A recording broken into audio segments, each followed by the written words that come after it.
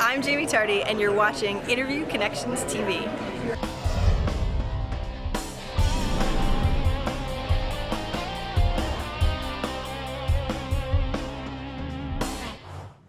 Hey everyone, it's Jessica Rhodes, and thank you so much for joining me for today's episode of Interview Connections TV.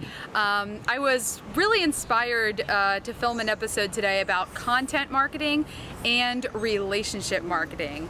I am, and like always, I'm gonna keep my eye on Nathan here. Hey Nathan, can you stay over here? Um, I'm starting a podcast and it's called Roads to Success.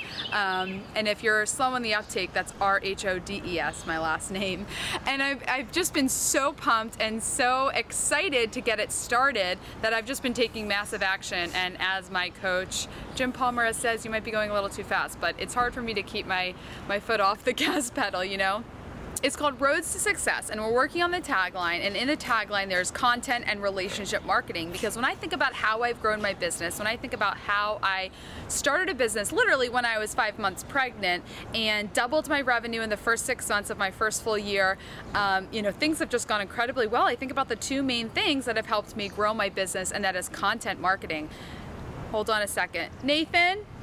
So it's content marketing, blogging, putting out videos, um, posting on social media, and it's relationship marketing.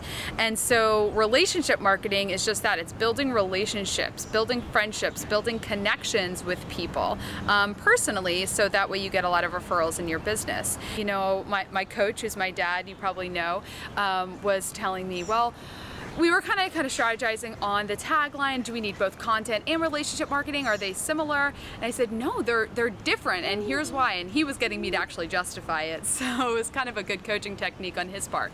They're very different, and here's why. You cannot build relationships just from doing content marketing. Okay, so content marketing, you're putting out your blogs, you're putting out your podcasts, you're putting out your videos. But if that's all you're doing, you're not actually building relationships with your audience. You have to be participating in Facebook groups, you have to be interviewing people on your podcast, you have to be going to conferences and talking to people and building relationships because that is how you're going to get referrals in your business.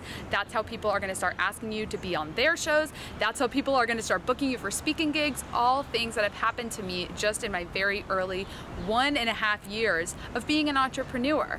So if you are putting out content, doing blogs, um, putting out videos, recording podcasts, don't think that that's just going to build your business. You have to, you know, make that extra effort to build relationships with the people that are consuming your content. And fun fact, today is all about relationship marketing and content marketing. Um, I'm up here in Providence. I live in Warwick, which is just about 20 minutes south of Providence, and we had to come up here for a few errands. My cousin's coming into town, so we're picking her up at the train station a little bit. So I had some time to kill, so I thought coming to a park with Nathan would just be the perfect thing. I could film a video with some cool background.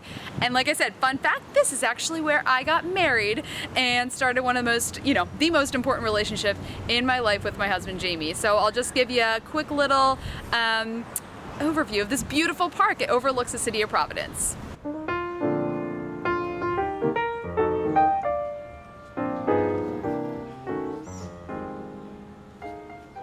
Did you find some value in today's episode? Do you agree with me? Do you disagree with me? Share a comment below if you're watching this on Facebook or in the show notes section at interviewconnections.tv. Share it with your friends, build relationships, talk about it, and you will see your business grow. So everyone have a great, productive week, do lots of interviews, and I will talk to you next Tuesday.